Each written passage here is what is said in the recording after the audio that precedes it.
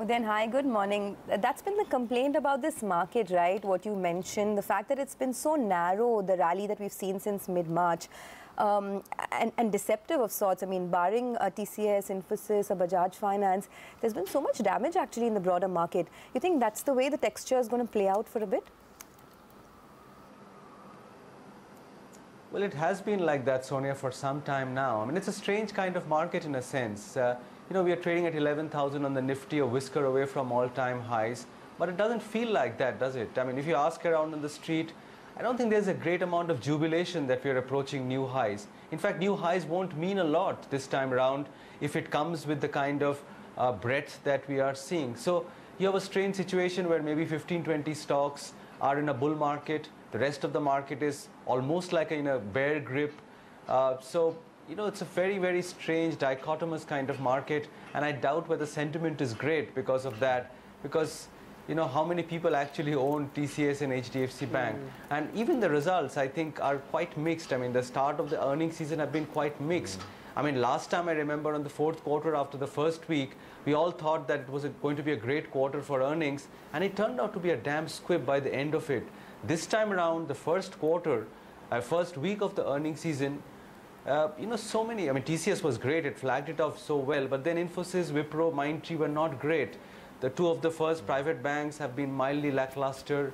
Bajaj Auto was a disappointment on the margin front. Sure, there have been hits like your Havells and Batas and CEAT and the uh, two Bajaj finance companies. But otherwise, I think even at the end of the first week, you're saying it's a mixed bag which is not a great portent for the rest of the season. Okay, well then, uh, good morning. Stay on. I'll just uh, come back to you, but uh, uh need to take Ashwini's 910 call. Uh, Ashwini, what would be your top conviction call?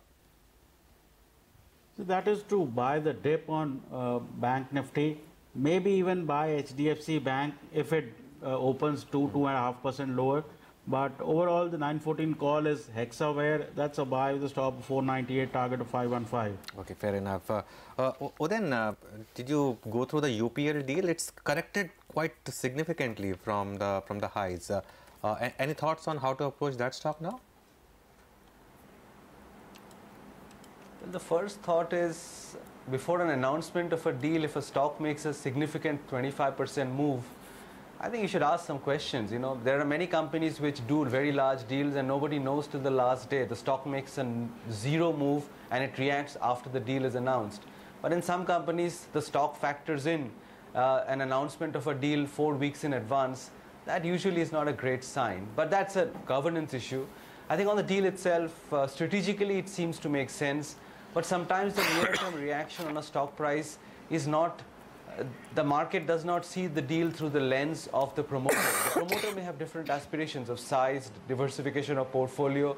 The market might obsess about the balance sheet leverage, might talk about whether the growth will have to be toned down in the near term over the next couple of years because the base is becoming so large to grow on. And these kind of considerations might rein in any kind of exuberance. So it's what lens and what kind of time horizon you're looking at with the stock, which is absolutely critical. And I think the same will hold of Hindalco as well. Strategically, it looks like a nice forward-looking acquisition, Aleris.